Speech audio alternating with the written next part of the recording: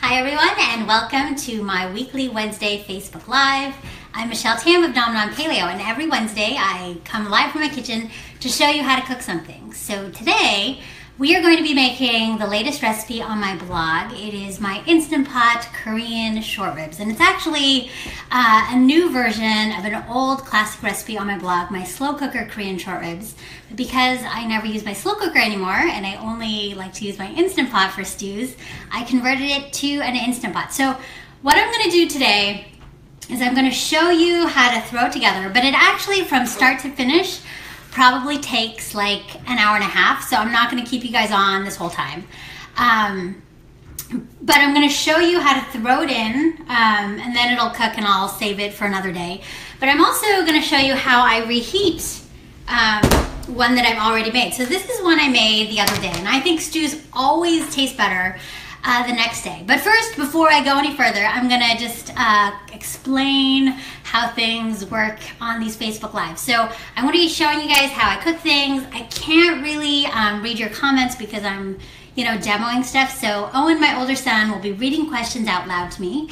And then behind the scenes, Lauren Wade, who's the master builder behind Nom Nom Paleo, will be typing answers to questions that I can't see. And also, um, just like we've done the last few times, we're gonna have a giveaway because I think it's always fun to give stuff away.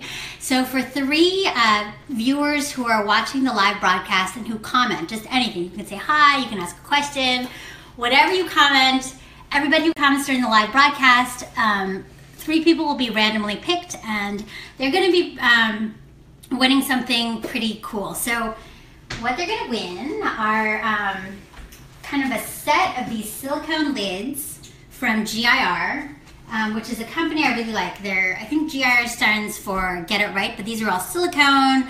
They are, I mean, it just basically makes any bowl like a like a, a container that you can like store food in, which is amazing. So it seals. Um, you can put it in the microwave. They're heat stable. I mean, it's it's pretty awesome. And so also, I love their spatulas, and people are always asking me what spatulas I use. So we're also giving away um, the ultimate spatula, which is what I use for everything, and then the little mini flip, which is how I make my eggs. Um, they're not a sponsor. In fact, I just emailed them today and said, "Hey, you guys want to do a giveaway?" because I love your stuff and I want people to know about it. And so that is what we're doing.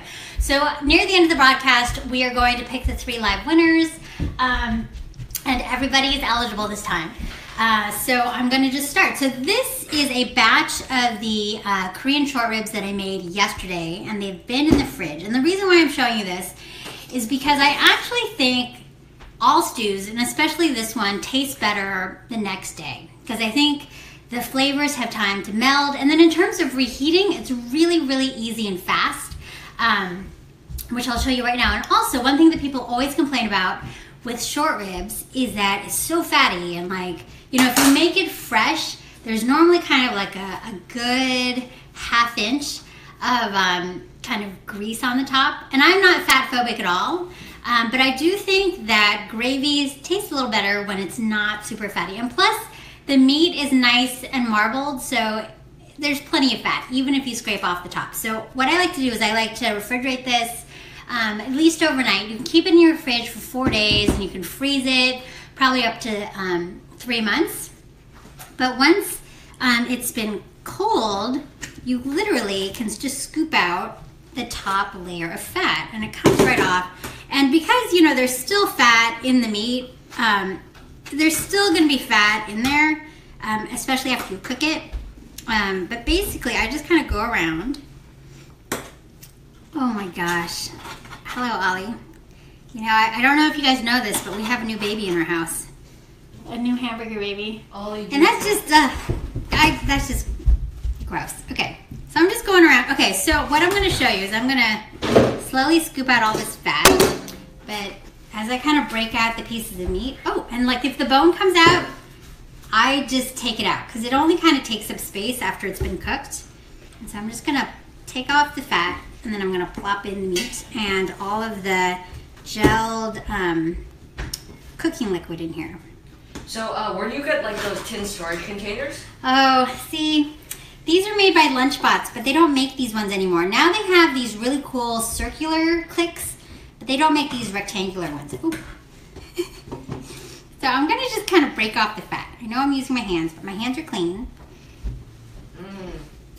and it's all gonna be cooked under high pressure.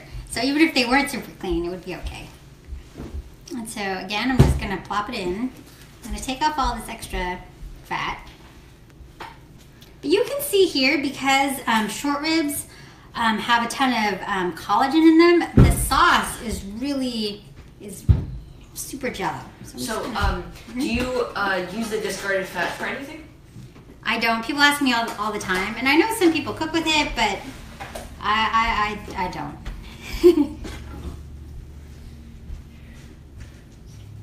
all right, I'm gonna plop this in. That's pretty good. I'm not gonna be super. Oh, I should probably wipe that before. So I'm gonna just plop this all in,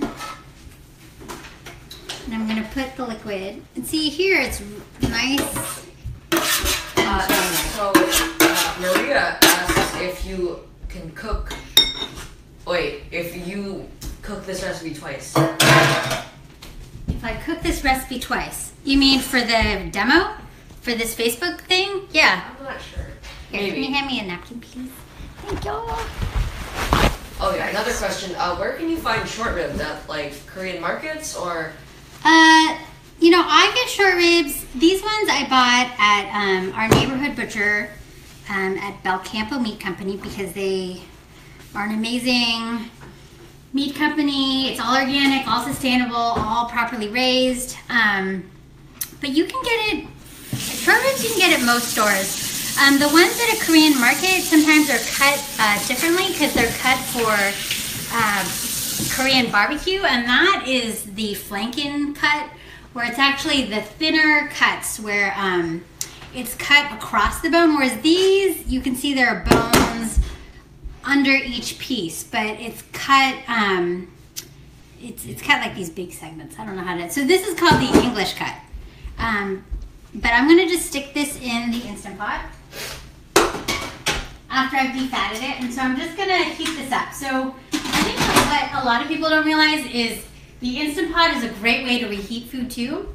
Um, so all I'm doing, oh, Okay, so uh, Jen asks why, like at Western supermarkets, why uh, the short ribs are really cut like very thick, but the uh, ones at Asian supermarkets are, are cut thin Yeah. because they in at Asian supermarkets like a Korean market they're normally grilled and so they want them thin and so they can just kind of grill them quickly and they'll cook through whereas um, most of the time like for kind of western preparations of short rib it's cooked low and slow until the collagen breaks down and so you want kind of a big meaty piece because it'll cook down as you're cooking it so the only thing you need to know about your instant pot or the most important part is you have to make sure the silicone gasket is um, there are no problems with it, there are no cracks, and that it's well tucked in to that little metal casing. And then I'm going to just stick this on. I'm to shut it. And then because it's already cooked, I'm probably only to cook this under pressure for like five minutes.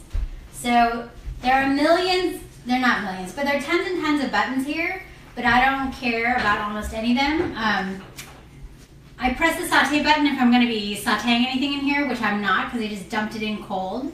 Um, but really, I just use my manual button, and then I use the plus and minus button to change it to whatever I want. So I'm just going to cook this for five minutes under pressure. It takes about 10 minutes to get to high pressure, um, and then it's going to cook for five minutes, and then I'm just going to leave it, and it automatically changes to keep warm, and then that's it. So, uh, where are you to be going on your uh, new cookbook tour? Uh, I don't know. We haven't totally decided, but for sure we're gonna start in Portland. So I think these are the tentative cities, and it can totally change. But tentatively, I think it's Portland, Seattle, Denver, Minneapolis, St. Paul, Toronto, Chicago, DC, New York, New Jersey, Atlanta, Austin, Houston, Dallas, and then San Francisco Bay Area, of course, and I think LA. I think that's it. I don't know. I, I think I think those are kind of the ones where did I say Atlanta? I think Atlanta too. Um, but again, nothing set in stone. This is for our new cookbook coming out on August 1st, Ready or Not. Um, and we also have a cool wall calendar that's going to be a companion to uh, our Ready or Not cookbook. But anyway, so now I'm going to start from the beginning. Um, and I'm going to show you how to throw this dish together. Uh, But the reason I did this is hopefully by the time I'm done with this, um, that will be done with heating, and then I can show you uh, what the short ribs look like. so I believe it was Mary who asked um, how long. Wait, it might not have been, but I think it was. Mhm. Um, how long your uh, silicone silicone gaskets last? Oh, you know what? I think it's recommended that you replace them every two years. I have, you know, two or three backups because it's almost impossible to get the smell out. Um, so I normally have one for kind of smelly stuff like stews and bone broth, and then another one if I have more delicate stuff. But no matter what, the scent can't really ever come out. So I just have backup gaskets, and I think Instant Pot recommends that they're replaced every two years. Uh, or if you see that the integrity is compromised somehow. Like if it's like super, like if you, it, it's not elastic anymore, if you see any cracks, it's time to change it. And it's only like, I think five or six dollars on Amazon, so you should just have backups. Anyway, so I also have backup inserts. Um, that's, so you can see here I have an eight quart and a six quart. And this is just for recipe testing purposes. I really think for a family of four, a six quart is more than enough. Um, and if you really needed a bigger one, I almost feel like it's better to have two six quarts. But that's just me. So where do you buy uh, your silicone gaskets? Online on Amazon. I, I think I almost buy everything on Amazon. all right, so I'm gonna um, make the marinade because basically all this recipe that I do with this recipe is I'm gonna salt and pepper the short ribs, and then I'm gonna blitz together a sauce, and then I'm gonna throw it in the instant pot and mix it together and set it to cook. Um, but I think I'm just gonna do the marinade first because that's kind of the noisy part because I have to do it in the blender. You can do it in a food processor if you don't have a blender. It's okay if it's a little bit chunky, it's not that big of a deal. So basically, I have three scallions that I just kind of roughly chopped in three. If you don't have a powerful blender or a powerful food processor, obviously you probably have to chop stuff up a little smaller. But this is a really powerful blender. So I have like a two inch piece of ginger. And if you guys saw my last Facebook Live or read our last uh, blog recipe with the wonton meatballs, I talked about how like the raw ginger um, has like an enzyme that will break down meat. In this case, it's okay because it's all going to get cooked together, and also it's a s- like short ribs are a super super tough cut.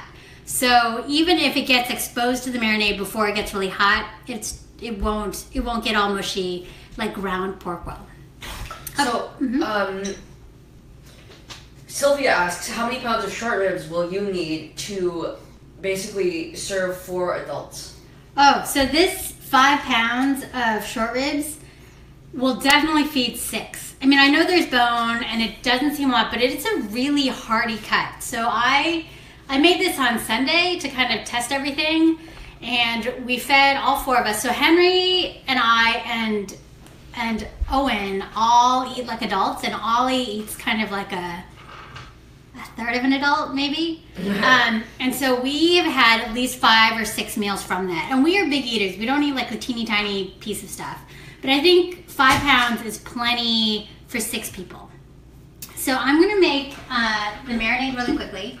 So I have the three scallions that I've chopped up, a two inch piece of fresh ginger that um, I just chopped up and peeled. So, would this work with pork ribs?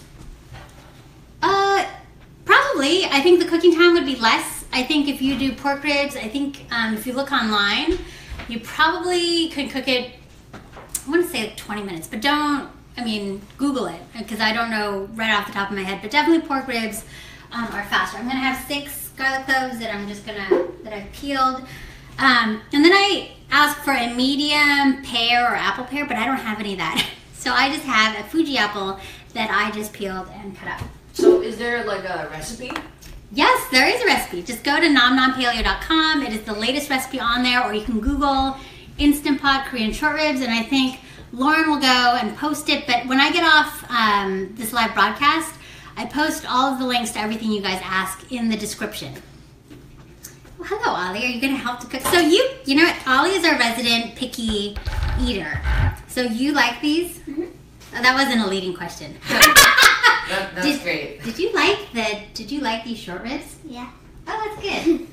I thought these were like the Oh, best. so I have a half a cup of coconut aminos. This is the brand I use, but I also use like the Thrive Market one and Coconut Secret. I mean, it's weird now that there's so many brands available. And basically, this is just um, a soy sauce substitute. So if you have a soy allergy or you have gluten sensitivity um, or you're doing a whole 30, you probably need um, some coconut aminos to kind of approximate soy sauce. But it is sweeter than soy sauce.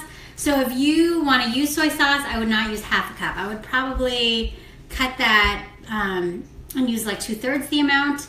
So when I cook with coconut aminos, I combine it with fish sauce to get kind of the right umami and the saltiness. So is this uh, recipe kind of like a galbi recipe, or No, not really. I mean, it has those flavors, but it's not. A, it's not like Korean barbecue. It is like it's almost like if you had a stewed version of kalbi. So I'm gonna put in half a cup of um, oh, uh, also, Coconut what is the difference between coconut aminos versus liquid aminos? I think liquid aminos is made with soy, like soybeans, um, and coconut aminos is made from coconut sap. Um, so that's that's the main difference. All right, so then I'm to add a tablespoon of rice wine vinegar, and then two teaspoons of fish sauce. And my favorite fish sauce is red boat fish sauce. This does not make your dish fishy. It just makes it delicious. Trust me. And I'm not putting so much that it'll be fishy. Um, if you are new to uh, my blog and to my recipes, you'll be like, why did she put fish sauce in everything? And it's because it makes everything delicious. So this sauce is going to be sweet and savory and a little bit tangy from the rice vinegar, um, but it tastes really good. It, it's, it's all it's all it'll all taste good. So Irene asks, what's your favorite coconut aminos brand? Um, I don't know. I like the Thrive Market one, and I like this uh, Big Tree Farms one. It seems a little thicker. Um, it's a little more soy saucy.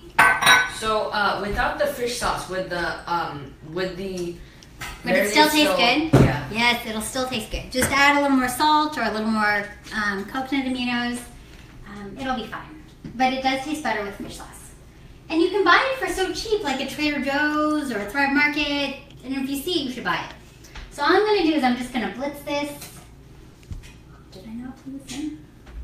I think. All right. So how long can you uh, keep um, the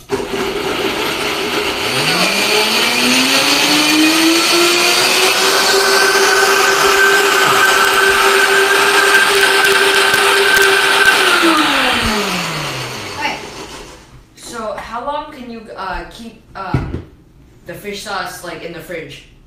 I think a long time. It's a fermented product.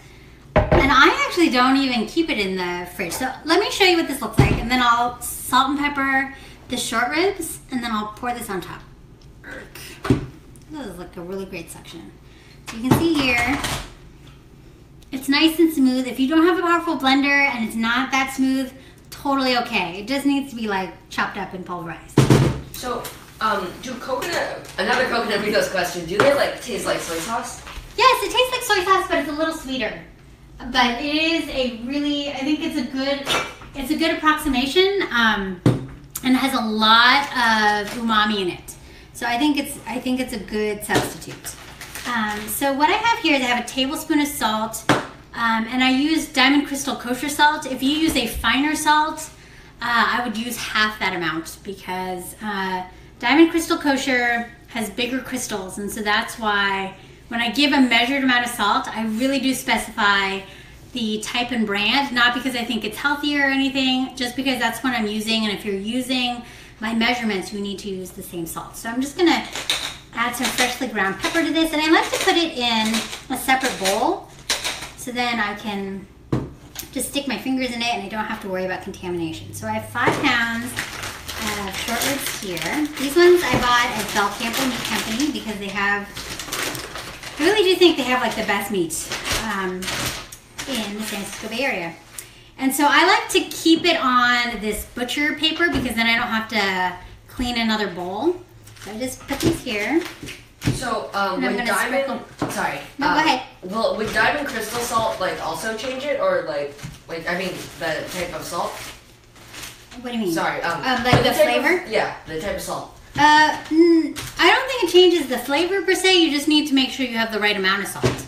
Um, so if you're using a finer grain salt, use a half a tablespoon instead of one tablespoon. But again, salt is always very subjective. Um, so to me, one tablespoon and the amount of um, flavoring in the marinade makes this taste just right. But it might be different for other people. So I'm just gonna go and I'm gonna sprinkle on the salt and pepper. And in my original slow cooker recipe, which is also on my blog, because a lot of people are like, where do I find a slow cooker version if I don't have an Instant Pot? And it's linked right in the recipe, um, so you can easily access it. I think it tastes much better coming out of an Instant Pot and it's faster um, because you know you can you can cook it in a fraction of the time plus it doesn't get all dried out in the pressure cooker and that's why when you watch shows like top chef or you know master chef and they are having like a quick fire or some sort of cooking competition and they make they need to make something delicious and fast like a braise or pork belly or something they always go for a pressure cooker i'm just gonna go and sprinkle the salt and pepper. And what's nice about doing it on this butcher paper too is like, you know how it's all on the butcher paper now? I just rub it around. So the pieces that don't have as much salt, you just rub them around. And that's it. Alright, now I'm gonna have to play like short rib Tetris to make sure it all fits. So I recommend everybody get a six quart um, instant pot because an eight quart, don't know that most people need an eight quart, and it does take a while to reach high pressure. Um, like we did this, what time is it? Like, you know, 15 minutes ago, and it still hasn't reached high pressure yet. And so even though I say reheating takes five minutes, it takes however long it takes to reach high pressure. And the smaller one, the six quart, actually I think reaches high pressure faster. So I'm gonna actually just put a little bit on the bottom of the of the So- pot. Uh huh. Uh, do you trim the fat? Or, No, okay.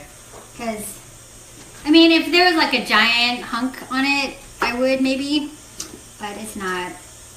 It'll be okay. Like I normally refrigerate my stew, like I showed you guys when this Facebook Live started. And if you missed the beginning of the Facebook Live, always remember you can always rewind. You can rewatch all of these. Like if you're busy right now, you can um, go and then come back. So all I'm doing is I'm kind of just tossing these short ribs in the sauce that I kind of put in the bottom. Or you could like, you know, put them all in and then pour the sauce on top. But it's really important, I think, that the sauce reach the bottom of the Instant Pot because I don't know if any of you guys have ever gotten an error message on your Instant Pot where it says OVHT. And that means that it's overheated and something has like scalded on the bottom. And so, as a protective measure, Instant Pot will give you an error message and you can't go on.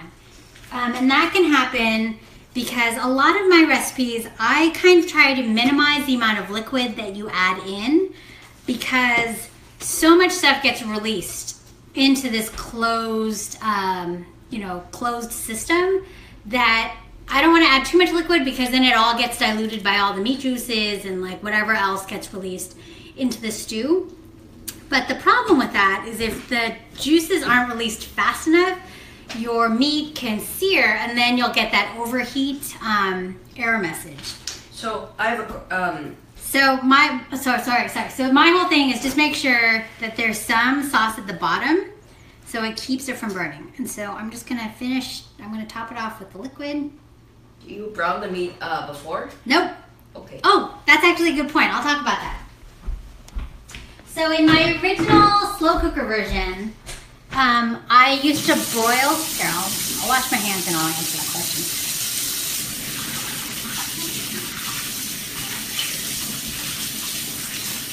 So in my original slow cooker version, I used to put all of the, um, oh, see, this is why I'll put the pressure cooker. You can just throw everything away, but now I have to wash my hands again. Um, sorry. So in my original slow cooker version, I broiled all of the um, short ribs to kind of give it some color. But I really do think it's kind of an unnecessary step. It still tastes really good. And if you Google um, an article in the New York Times, so I read an article in the New York Times several years ago, and that kind of kept me from ever searing any meat before I put it in a braise. So John Doc Willoughby, who used to work, I think, for Cooks Illustrated, wrote this big article in the New York Times about whether or not you needed to sear meat before you put it in a stew or braise. And he came to the conclusion that they did all these blind tests and there was absolutely no difference. And so if that saves me a step, then I'm gonna save that step. So now all I'm gonna do with this. So you can see here that I, there is some liquid at the bottom because I actually put a little bit on the bottom initially and then I turned all the meat inside and then I topped it off with the rest of the liquid. But I've kind of like just fit them all here. So almost everything fits in a single layer on top and then I have one lying on the top. Um, so then I'm just gonna put the top on. You make sure the silicone gasket is in properly. Um, I'm gonna plug this in because you'll see that the Instant Pot actually has noises to tell you that you have So, um, locked it properly. Uh, I have a question. So, Yes? um, do you freeze? Uh, uh, is it okay if you freeze your uh, stew right after you're finished? Uh, yes, but you should let it come to like room temperature before you put it in the freezer or the fridge. Um, just because I think that if, I mean, there's just food safety issues if you put hot stuff into a fridge or freezer because then the center doesn't get uh, cold fast enough. So I'm just gonna put this in. The, the um, silicone gasket is in properly. So And then- apparently, uh, there's some angry faces, but that that's okay. Yeah, why are there angry faces? I don't know. Whatever. Sometimes people are just angry and they just need to chill out because, you know, life is short. So I locked it right there, and you can tell by that little song that it's locked. This little valve at the top, I'm making sure that it's pointed towards sealed. Um, and then now I'm just going to program this. I'm going to press the manual button, and then I'm going to press the plus sign until it goes to 45 minutes. So then I just kind of let it do its thing. Um, it takes about 15 minutes to reach high pressure, and then it'll cook under high pressure for 45 minutes. And then when it's done, I just leave it alone because I want the pressure to come down naturally. And a lot of times people are like, how do you know when to let the pressure come down naturally and when do you do quick release?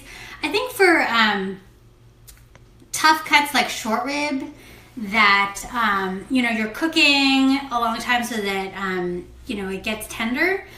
It's better to do the slow release because i think they've said that the texture of the meat relaxes or some, something like that. Um, but i'll show you that after it's been cooked and um, i'm reheating it i normally just do quick release depending on how soon i need it done because it's already rested and it's it's already tender um, but I think I think that's that. That was pretty easy. See, that was all there is. And once this is done, because there's two more minutes there, um, I will plate it and show you guys how that is. But let me. So, um, how long do you uh, let it slow release for?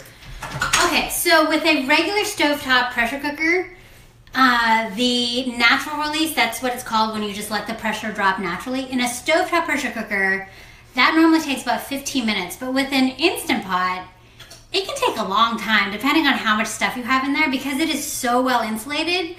And the only place it releases heat and the pressure is these little silver parts right here on the lid. Um, so normally i let it go 25 minutes 20 25 minutes. I mean 15 minutes is probably my minimum. And then if it's not fully released then i just manually turn this and release it which i'll show you how to do right there um, but the cool thing about this is like, let's say I have this tree heat, I've thrown it in there. Um, it can just sit there because it automatically converts to keep warm. And then whenever I'm ready to serve it, I can serve it. And I think the Instant Pot, the keep warm function is for like many, many hours. So if you don't want to make it ahead of time, You can throw everything in there in the morning. It'll cook over an hour and a half, you know, um, while you're away, but it just keeps it on warm. While it's on keep warm, the pressure has dropped naturally. So when you come home, you can just serve it. But in that case, you'll have to skim off the fat yourself if you don't like fatty marinade. And that is telling me that this is ready. So the reason why I have this under my um, hood like this is because when I do uh, the quick release, which I'm going to do now, I like to turn on my hood so it just takes all the air up. Um, so is this recipe on your app? This is on my app. Every new recipe, um, here, I'll turn this up. So every new recipe that's my own recipe, we aut- we auto magically add it to the app um, at no cost to you guys. So you just get new recipes all the time. So anyway, I'm going to turn this back on because I want the vent on. And then I just turn this so that it's still And so, as I was saying with the A chord, it takes longer to reach high pressure and it takes a long time to release pressure. So even, so when I've had it do natural release, sometimes it's like 45 minutes and it still hasn't released pressure. And then even with this quick release, you'll see that it's still it's gonna gonna gonna vent for a little bit. All right, so let's see what. Uh, oh, someone said that Brenda says I think keep warm op- option lasts for 10 hours. Yeah, so if you're gone all day, it's totally perfect.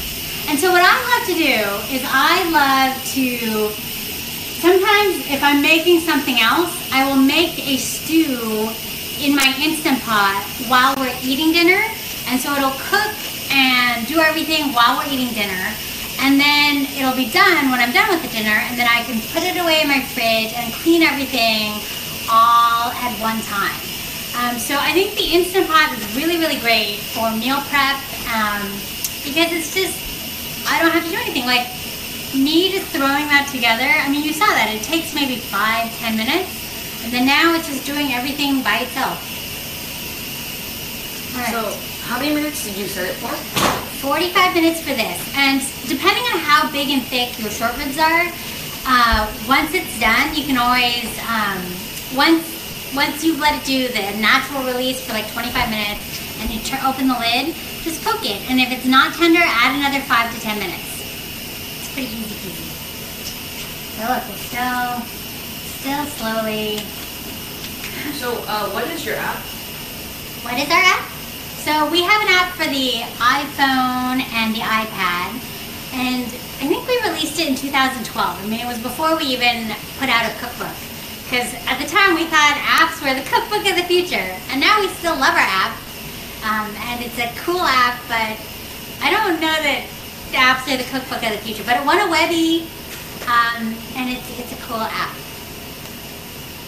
And what's cool about it is you can swipe through and see all the steps, and it's just a fun way to cook. So, if you have the flanken short ribs, will um, that make the recipe turn out differently?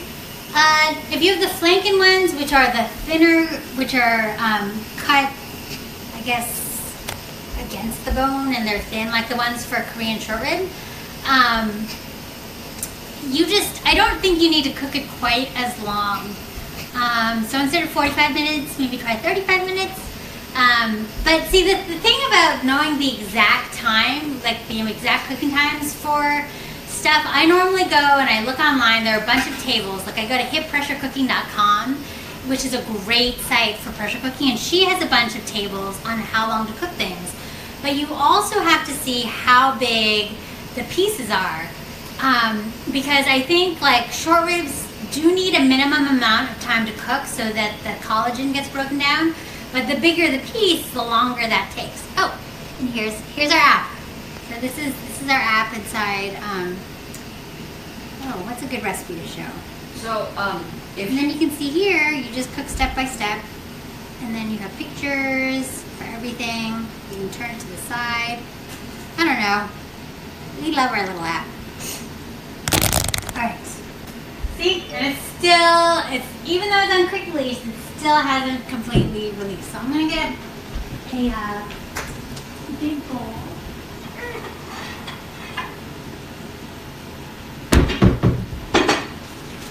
And then this is how I keep my cilantro in the fridge to keep it fresh for a long time. So it's in a glass of water, so it's kind of like how you keep flowers, and then I loosely cover it with a bag. Um, but this cilantro, I think,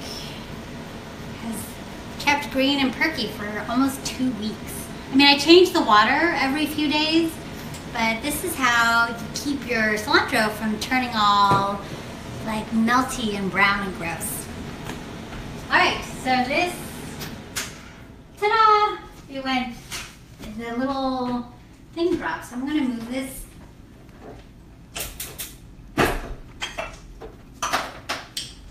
And I'm not worried about moving it now at all because the pressure has been released. There's no high pressure thing. This is not under high pressure anymore. Like when this little knob drops, it tells you that it's totally safe. Um, and it also won't let you open it unless all of the pressure is released. So that is like another safety feature. So, uh, if cilantro tastes like soap to you, what uh, should you sub? Oh, don't put it on at all. Like this is just a garnish that I'm putting on at the end. There's no need to add it if you don't like it. Just add like green onions and it'll taste delicious. All right. So then you can also see, I don't know if you guys know this, so the, the um, IP Duo Instant Pots have it so that you can stick the lid in the handle, but I'm just gonna move it. So these, so this batch right here is a batch of um, the short ribs that I made last night. And if you scroll back to the beginning of this video, I took the fat off because it had hardened overnight in the fridge. And then I dumped them in. Any loose bones I discarded because there's no reason um, to have them in there. And then I just cooked it under high pressure for five minutes. But you could see that from the time I dumped it, look what time is it, 5.37? It probably took about 30 minutes anyway. Um, but I didn't have to do anything. I just like scraped off the fat, dumped it in, programmed it, and I can go about and do whatever I want. So I'm just gonna scoop this in here. I mean, you should always taste it for flavor. I will taste it for flavor. We've been eating a lot of this lately, so I'm pretty sure this one's okay. And there's still a little bit of fat on the top. Like, so even though you scraped it all, as I told you before, there's still lots of fat in the meat. So if you absolutely hate it, you can skim it off, but I'm okay with it. So, um, is there another kind of meat that you can use besides short ribs? You can, I think that's good. Uh, you can use, uh, I might add a little salt. Um, you could use cube chuck roast. Why are people calling? I think it's just, we should just ignore it. All right, so I'm gonna take out the short ribs. I think it's a telemarketer. All my friends know I'm on Facebook Live right now. I'm just kidding. And then if the bones fall off, I just chuck them. People always ask, like, can I use these bones um, to make bone broth? And not really. Like, these are really spent bones. I just chuck them. So is it one rib per person?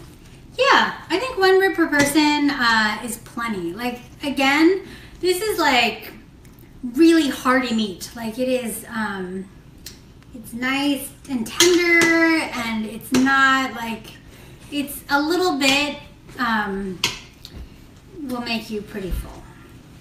And sometimes the kids kind of don't like kind of the gooey bits, but I tell them that's like the good stuff. Like everyone's paying all this money for like collagen powder and gelatin and stuff. Like this is natural gelatin and this is this is really good for you So I'm just gonna plop them in here. And then I'm gonna add a little bit of salt because I'm gonna add a little salt and pepper to this. So if you don't have time to cool the short ribs um, so the fat can separate, is there an easy way to strain it? Well, you can buy those like fat separator things. I don't use that. I just use um, just use like this, I have like this little ladle and if you just skim the top, you'll skim the, the fat off. You just, but it's kind of a pain. Whereas if you refrigerate it, your stew will actually taste, um, you already put pepper in here. Stew will taste better the next day And it's really easy to just like take off the hard um, fat shell.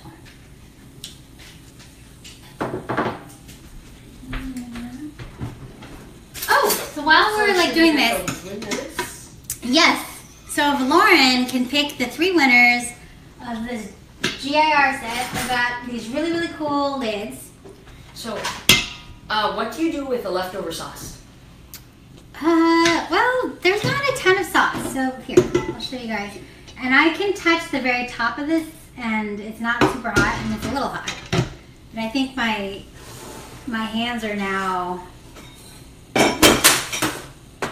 like pretty impervious to the pain. So I'm just gonna pour this on top. But there's not a ton of leftover sauce. Oh, uh, wait, no, there's no wedges yet. And then I'm gonna top this with some chopped cilantro. And just move stuff. so if you, um, if yours come out chewy, is that because you uh, overcook them? No, you undercook them. Oh, So if you, they come out chewy, cook them for longer. Don't be afraid. Like I used to be worried about overcooking um, the meat, but with these cuts that are high in collagen, like the longer you cook it, the better it'll be. Um, you only the reason why you're worried that you overcooked it is if you use a cut that's not high in collagen. So if you use like chicken breast or something that's not really fatty, First of all, you shouldn't be making that in an Instant Pot. I think Instant Pot really is for cuts like this, like stew cuts and braises. So all I'm doing here, um, but if yeah, if it's still kind of chewy and not fork tender, just add another five ten minutes, and it really will be magically soft. oh, here's winners. Okay.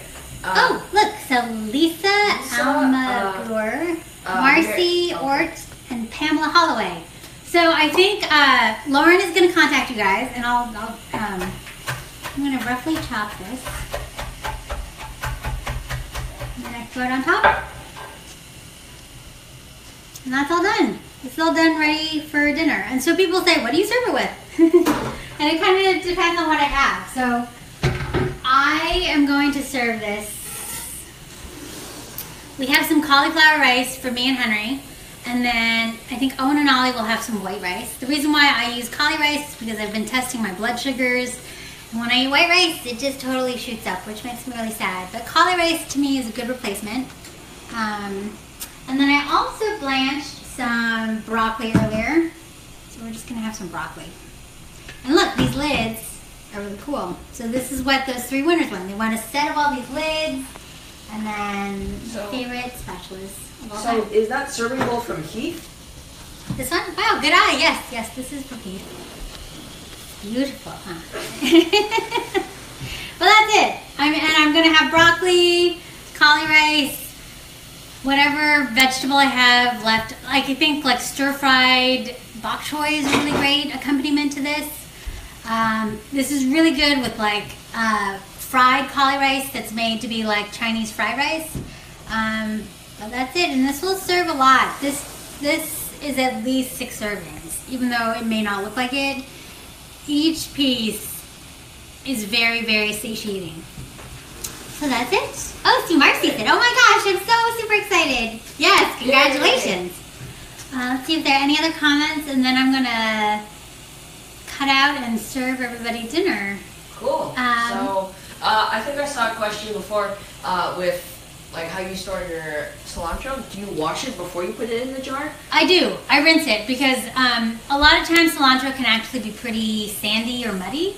So I rinse it really quick, um, and then I I don't even spin it. I like shake it, and I stuff it in um, like a mason jar with some water, and then I loosely cover it with a plastic bag.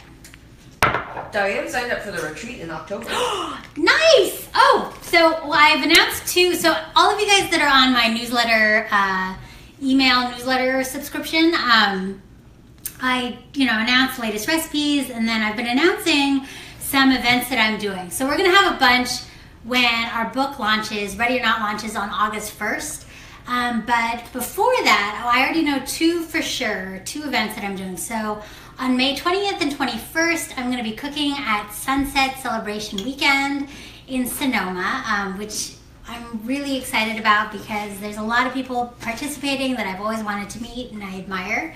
So I'm really excited. And I've been a big fan of Sunset Magazine since I was a little kid because I grew up in Menlo Park and um, that's where Sunset Magazine first was started. And so then the second um, event that she was referring to that she signed up for is a paleo retreat in October in the Santa Cruz Mountains. Um, it's at a place called 1440 Multiversity. Um, which sounds amazing. It's like brand new. I think it's opening in just a month or so, and our retreat is in October.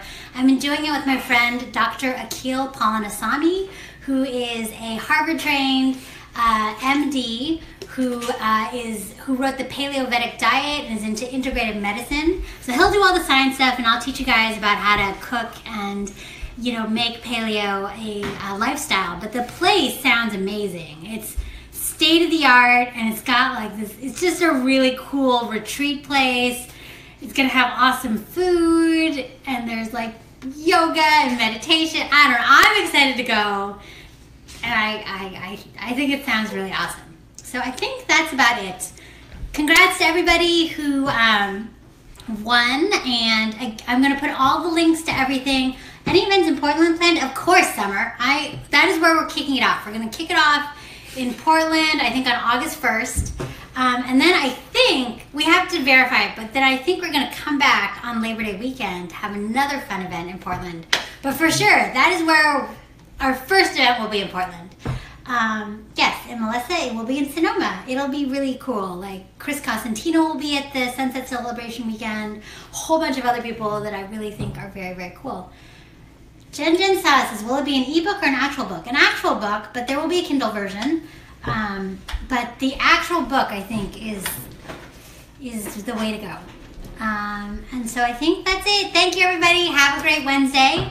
And I'll be here again next week, uh, probably live from Portland, but I'll be cooking something from my kitchen. Portland. Bye, guys. Bye.